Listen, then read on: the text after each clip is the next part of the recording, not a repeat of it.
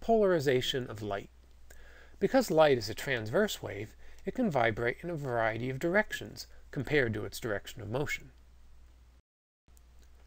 Unpolarized light.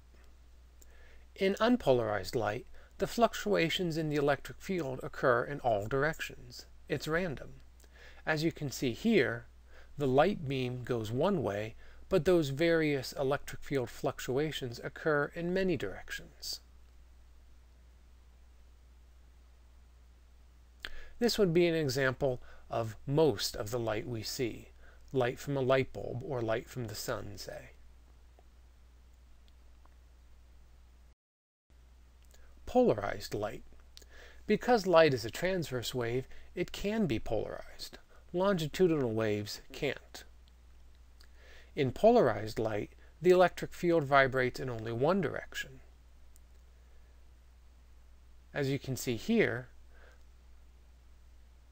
compared to the direction of wave motion, the light is only vibrating in one particular direction. This is polarized light. Polarizers.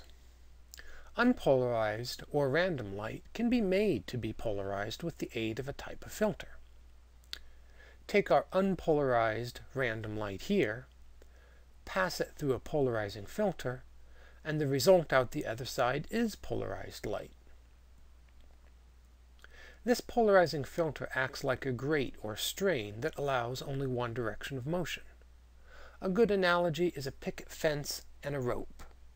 Imagine you have a rope passing through the slot in a picket fence. You can shake or vibrate that rope in any direction. However, once it goes through the picket fence, the slots, which have a particular orientation, allow only one direction of motion to pass through. Pairs of polarizers.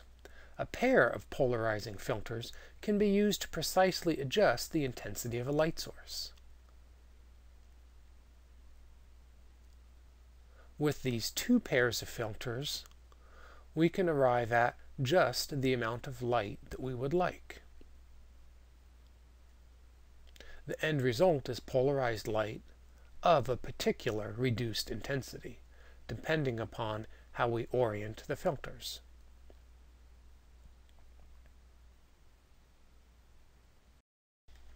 Intensity adjusting polarizers. With the pair of polarizing filters at a zero degree angle with each other, in other words, parallel to each other, a maximum amount of light emerges. On the contrary, with a pair of polarizing filters set at a 90 degree angle to each other, perpendicular, a minimum amount of light emerges, virtually none. So, by adjusting the angle between the direction of the two filters, between 0 and 90 degrees, the intensity of the light can be controlled.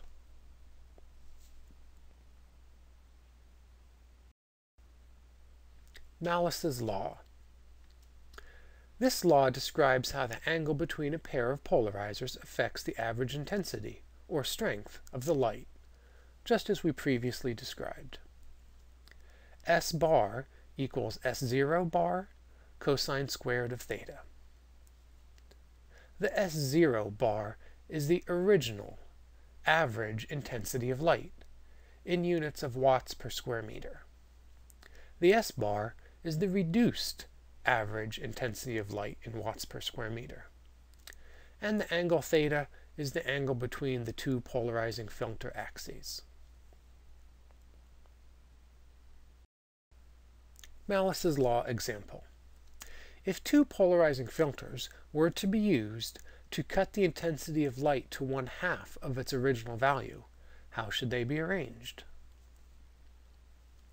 We'll be using Malus's law, but we won't be finding the reduced intensity.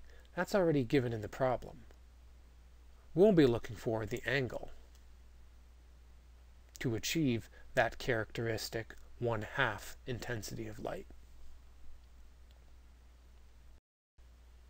Malus's law solution. Start with our formula, but in this case, we're looking to find the angle. So rearrange to solve for theta. Divide both sides by S0. Then take the square root of both sides. Finally, since we're interested in the angle, not the cosine, we'll need to take the inverse cosine of both sides. Once we've rearranged our formula, we can substitute in our values. Actual values weren't given, but we can use 1 as our original intensity and 1 half as our reduced intensity. This gives us a value of 45 degrees, which should seem kind of intuitive, because after all, 45 degrees would be halfway between complete transmission and zero transmission. And we are cutting the light intensity by one half.